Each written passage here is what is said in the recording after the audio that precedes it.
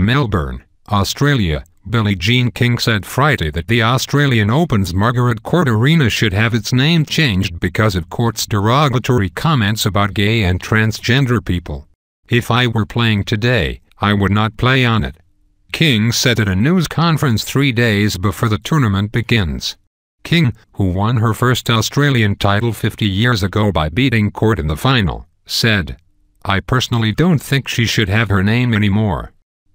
King has often defended Court and the arena, and her shift on Friday was her strongest criticism to date.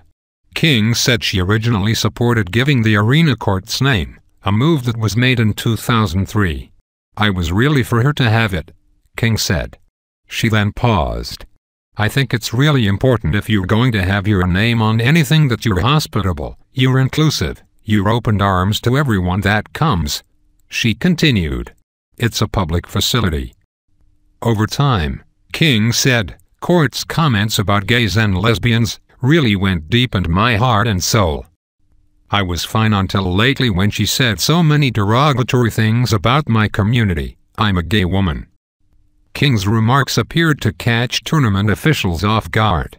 As controversy mounted over the name of the arena last year, the host federation maintained almost complete silence in the face of calls for the name to be changed because of court's remarks about gay people and gay marriage, which recently became legal in Australia after receiving overwhelming support in a public referendum.